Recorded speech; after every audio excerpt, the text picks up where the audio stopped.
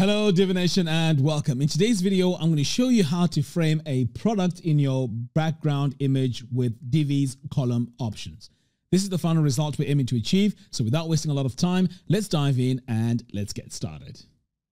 All right, so the very first thing we need to do here is to set up our page. So I'm going to come over here and click on add new and I'm just going to call this product. But of course you can name your page whatever you want and then I'm going to click on use Divi Builder. So for this design, we're going to build everything from scratch. So let's click here on start building. So I'm just going to close this for now because I need to go into our section settings here by clicking on this little gear icon. And then we're going to go to our background and then add an image. So I'm going to click on the third tab, click on the plus button, and the image we're going to go with is this one here. So this is the landscape image. I'm going to select it.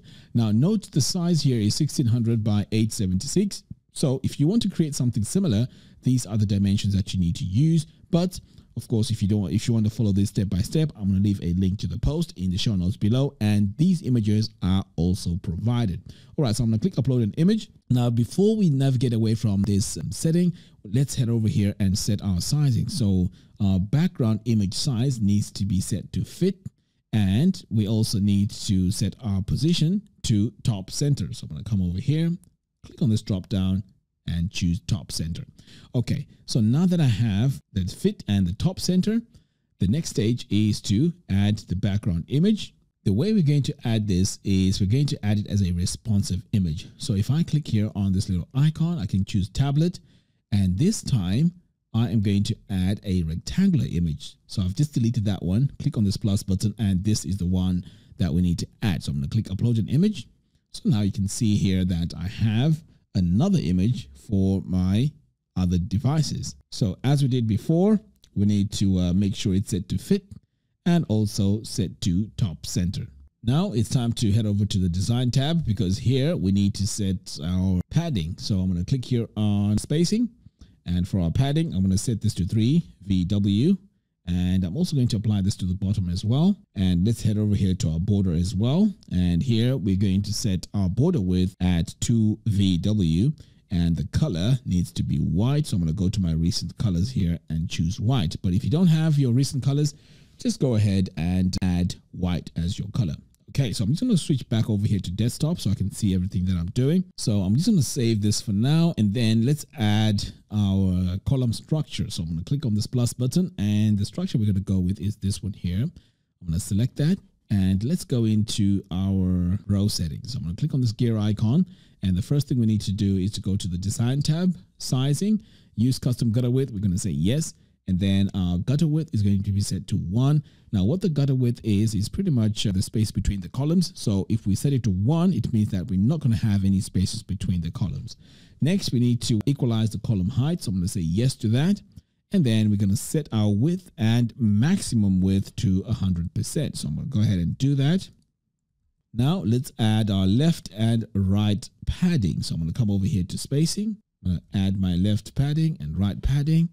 And you notice that I've added my uh, chain icon there. That's because I just wanted to make sure that both sides have the same value. Okay, now it's time to add my text module to column two. So I'm going to save this, click on this plus button, and I'm going to search for my text module and select it. So to allow our product to show through, we need to empty this text here and make sure there's nothing in there.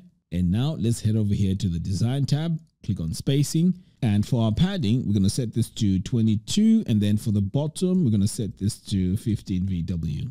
Next, it's time to add our border. So I'm going to come over here to the border and we are going to set this to 3 VW. Right, so now it's time to add our color and I'm going to come over here to my border color and we want this color to be a transparent color. So I'm going to drag the slider down a little bit until I see these brackets. So the value that we need to add has to be between the brackets, just like that. Okay, so that's looking great.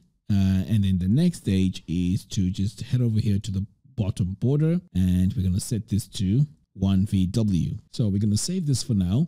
And what we need to do is to make sure we have our product in WooCommerce already added. So let's go ahead and do that. So I'm just going to come over here to WooCommerce products and then just click on add new. And what we're going to do here is to add our sunglasses. So I'm just going to type in here sunglasses and we can add our description here by using our lorem text. And then over here on the images, I want to set my product image and I'm going to go with my main image here and set product image. And I'm also going to set my price and that's going to be 588 and then click on publish. So now we have our product added onto our product list. All right. So what we're going to do here is we're going to add our title. So I'm just going to search for Woo title and here it is. So here on the products, you can see it has pulled our sunglasses. Now, if this is not your latest product, you can click on this drop down and choose the specific product. And as you can see, I've chosen it and it's sunglasses. Next, I'm going to come over here to background and we are going to add a background color. Now, since this is going to have some transparency, I'm just going to drag this down a little bit and then paste my values between the brackets like that. Next, I'm now going to go in and adjust this text. So I'm going to click on this brush tool and I'm going to go to my title text. So here I'm going to set my text to work sans. I'm going to select that and also the size here needs to be 2.5 VW. So I'm going to scroll down a little bit and set my size here like that. Next, I'm going to add a bit of spacing to my title here. So let's go to spacing and add a padding of 1 VW, both to the top and the bottom. And then we're also going to add left and right padding. And again, we're going to have the same value of 3 VW. So now you can see that is nicely spaced. So the next step is to add another module and this time is the description of our product. So I'm going to click here on this plus button and search for Woo description. I'm going to select it. And again, on the product here, you can choose the actual product, which is sunglasses. So here you can see the background color is a bit off. So let's head, let's go ahead and fix that. So I'm going to click here on this plus button, drag the slider down a little bit, and then I'm going to paste my value between the brackets like that. Next, I'm going to go into my text settings, and here we need to set this to Open Sans, and I haven't used this before, so I need to search for it, and here it is. So again, these fonts are absolutely free, so go ahead and use them. These are Google fonts. Next, I'm going to set my text size. By default, it's set to 14, and I'm set it to 0.9 VW. And I'm also going to set my line height to 2.2. And I'm also going to give this some breathing space by heading over here to spacing. And I'm going to add my top and bottom padding. And I'm also going to add 3 VW both to the left and the right. So this matches what we have here on the top. So I'm going to save that. Right, so moving on, I'm going to add the pricing. So I'm going to click on this plus button and search for Woo price and select my module. Now we also need to make sure that we set this to the right product. So I'm going to set my product here to sunglasses. I'm going to go to our background here and set our background color. So I'm just going to paste my value between the brackets. Next, I'm going to come over here to design, go to price text, and this time choose work sans. In fact, I've used that before. And I'm to set my color here to black. And then for my size, we are not going to be using the default here. Let's go ahead and add 2VW for our size. And then we also need to add our top and bottom padding. So I'm going to come all the way down here to spacing and set my top and bottom to 2VW and then left and right to 3VW. So we can't have a price without the add to cart button. So let's go ahead and add that. So I'm going to click here on this plus button and search for add to cart. And here it is. And you notice the trend here. I'm always going in and adjusting our background color here. So I'm going to go in and click on this plus button, drag the slider down a bit, paste my value like that. So let's head over here to the design and to start making changes to our button, we can click here on the add to cart. And to style the button, we're just going to say yes to that. And then you can decide what we're going to do with our button. So first of all here, we can go in and change the font. So I'm going to scroll down here and choose work sans. So here it is. I'm going to select that. So for the button text size, we are going to set this to 1.1 for our button text color.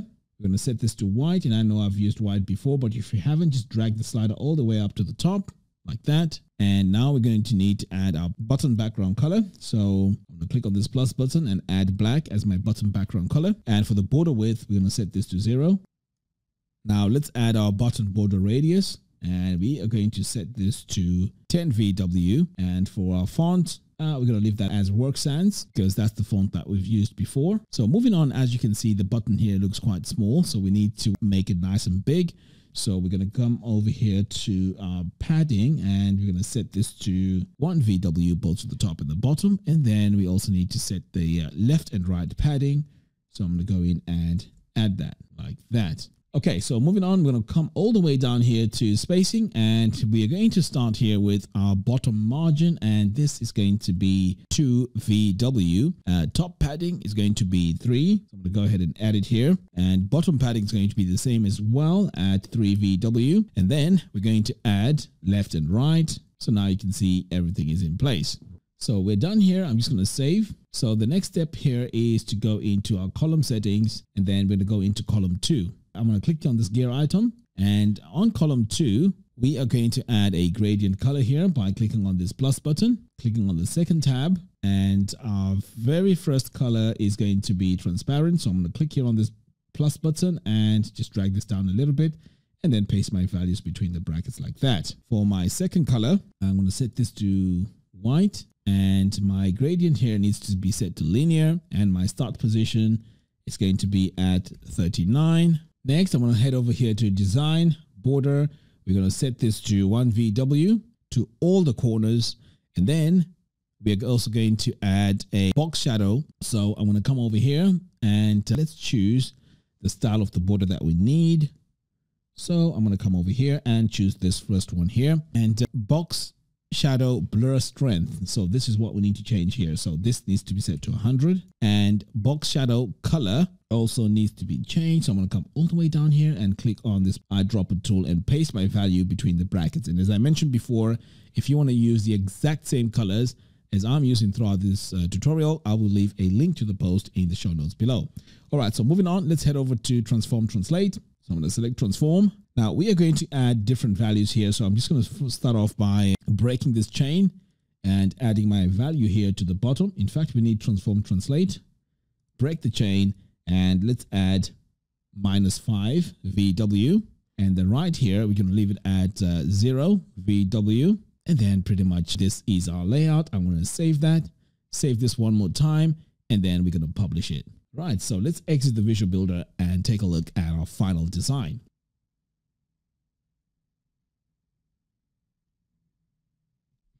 So there you have it. Thank you all for watching. If you like this video, please give me a thumbs up and do follow us on our social media platforms. By doing so, you'll be notified every time we release new tutorials. Until next time, thanks for watching and I'll see you in the next video.